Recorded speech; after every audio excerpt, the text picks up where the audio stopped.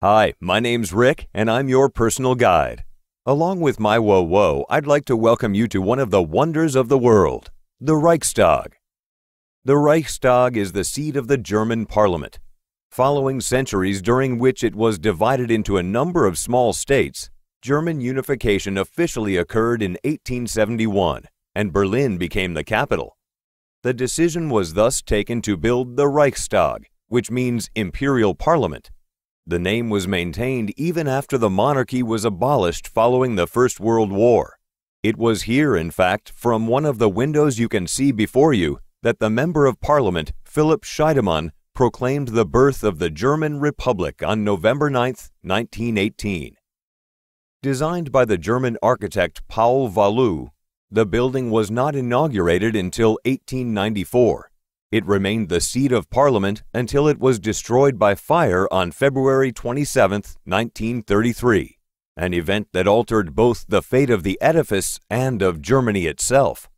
Hitler accused the communists of setting fire to the building, using this as a pretext to get rid of the opposition and establish a dictatorship. Although the Reichstag was abandoned after the fire, it was on top of the ruins of the building that the Soviet flag was raised by the Red Army on April 30, 1945, to mark the conquest of the city. Despite this, in the post war years, the Reichstag remained in the western zone of Berlin outside of Soviet control. This meant that its symbolic value could not be forgotten. And during the 1980s, many rock stars, including David Bowie, Michael Jackson, and Pink Floyd, chose the building as a backdrop for their concerts.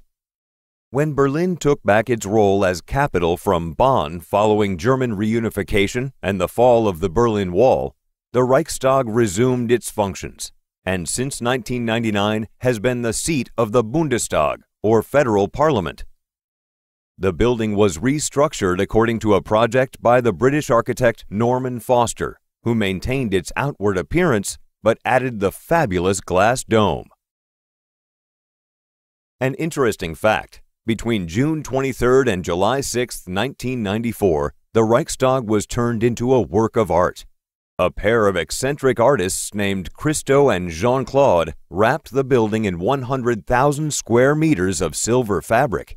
Their aim was to pay homage to a building of such fundamental importance to European history by altering its appearance, albeit temporarily.